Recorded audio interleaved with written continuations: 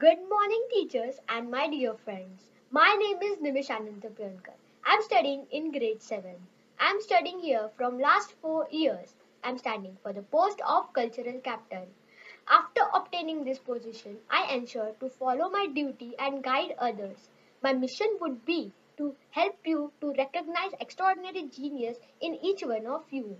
Because each one of you are equally talented my mission would be enthuse ambition, a sense of courage, and more importantly, sense of purpose in each one of you. More than all, what I would like to be with you is a good friend, a good supporter, a good helping hand. I'll ensure that we will celebrate all the festivals and activities with fun. My symbol is cultural wheel. It indicates different types of people, religion, and languages. Let us learn with some fun. What is I need? A small help. Vote me as a cultural captain. Young or old, every vote is prosperous for me than gold. Thank you.